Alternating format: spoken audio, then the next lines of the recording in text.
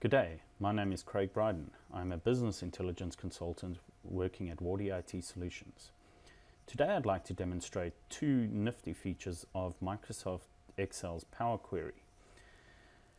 The features that I'm going to be demonstrating today are the online search and the ability to manually edit your Power Query queries, which not many people are actually aware can be done. So first of all, let me kick off with the online search. What this feature does is it goes out, searches the internet using your search terms, and actually brings back some data sets that it could find that seem that it believes matches your search criteria.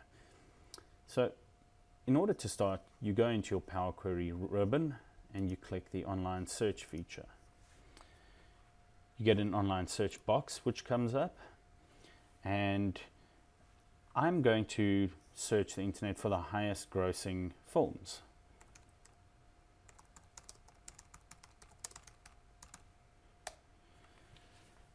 As you can see from the progress feedback, it went out, hit the internet, and now it's brought back a whole bunch of results for me from Wikipedia.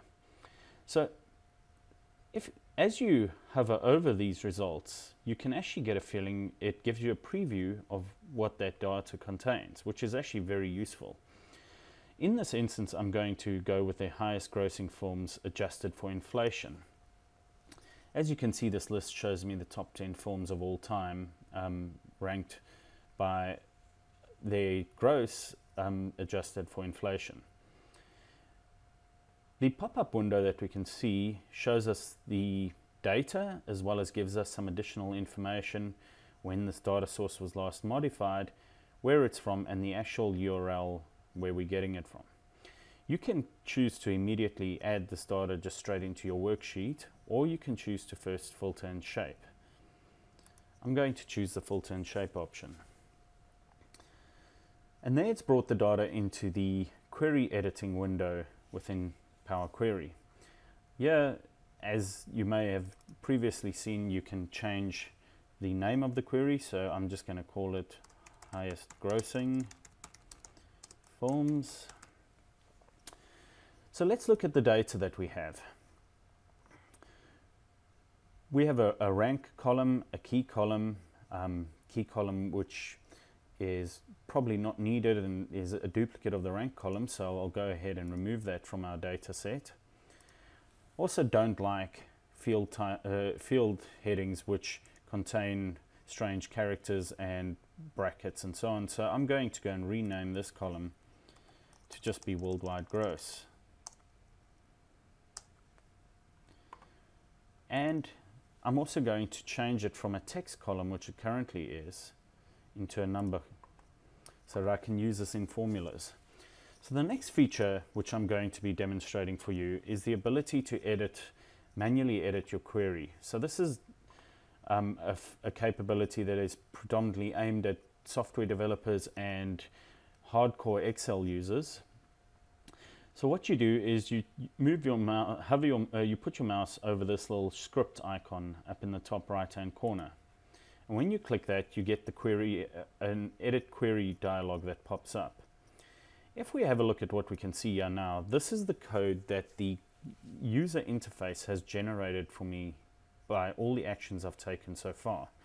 The first line is to go and retrieve the data from, um, from Wikipedia. The next one is to remove the key column, then rename the column as I did, and then to change its type.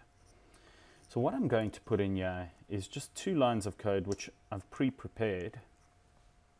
And what these lines do, this line over here is getting a sum of all 10 rows. So this is summing the worldwide gross column for me. So I'm getting a total for the data that you can see in the background. The next thing I'm doing, I'm adding a new custom column into the data set and what I'm doing is dividing the worldwide gross of each line by the total which I derived in the previous line. So this is giving us a percentage of total for each line, a fairly common business scenario.